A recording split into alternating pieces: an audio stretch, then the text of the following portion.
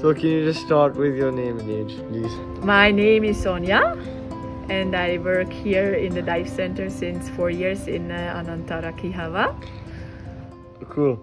And uh, when did you start diving? I was started diving, oh, now I need to calculate even, uh, 28 years ago.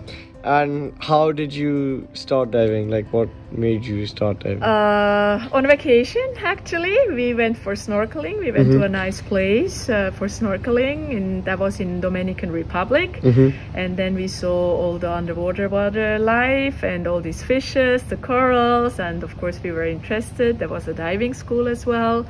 So we got some information and then yeah, I we decided or I decided to do open water diver course.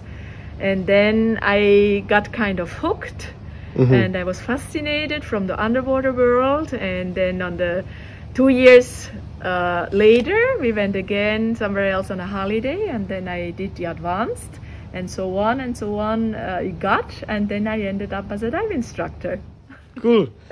yeah. So the next question is more serious. So have you noticed like a big change in the corals over the past few years? Yes, I can say so. Uh, I'm actually in the Maldives since uh, 12 years as an employee working in the Maldives, but I have been here as a guest many years ago. That was more than 20 years ago when I came first time to Maldives and explored uh, diving. And I can say, yes, there's a big change. Uh, And can you just describe that change a little yeah, bit? uh, we have um problems or pollutions, and especially also rising water temperature. Mhm.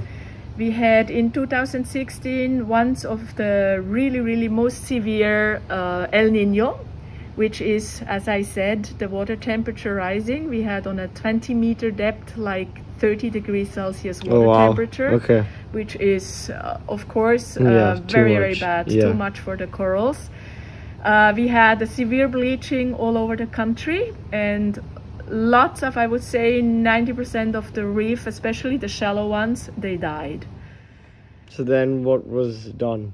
uh, actually, there of course the corals still have also their babies, and Mhm. over the years uh, it recovered a bit. Okay. But of course, this will take a long time, Yeah. and then depends uh, depends what future will bring. If Mhm. we have another really really severe El Nino or a water temperature rising coming, then I think it will start again. Whatever grew by now and whatever we do uh, to somehow recover the reefs uh, will be again lost hmm and uh, it will start from zero again. And how does this like impact the animals? It does impact the animals because most of the reef fishes uh, in the Maldives uh, they they really need the corals because the corals is their shelter, it's their hiding place, it's uh, as well uh, nutritions they get, some food they get from the corals. There's a lot of fishes uh, which really depend on the corals. They're nagging on the corals. They're getting a lot of uh, minerals and these kind of things. Okay. So yeah, they live together in symbiosis actually. Okay. Last few questions. Yeah. Are there any like specific pollutants that like severely affect um the Uh, the pollutions, I would say, is uh, the plastic for sure, which Mhm. uh, is international, worldwide known.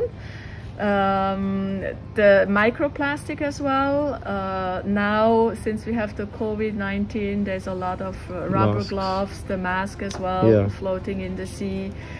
But nevertheless, I mean, there's a lot of boat traffic as Mhm. well. So this What's like the helps. biggest pollutant? It's definitely the plastic. Plastic. Yeah. Okay. And how has this been on the rise since you've like been in Maldives? Like, When was I- there like massive increase Yes, one year? or there's a massive increasement. Because when I came to Maldives the first time, there was hardly any plastic here because uh, the islanders they didn't know much plastic here. They were, you know, surfing uh, food in banana leaves and these kind of things, and everything was natural. They didn't have any shopping plastic bags. It, it just simply didn't exist. And then over the years, the plastic came to Maldives as well because everything is easier. It's uh, one time use and then you throw it and it's easy, it's cheap, but it's uh, very, very bad for the environment. And lastly, what can like an average person do?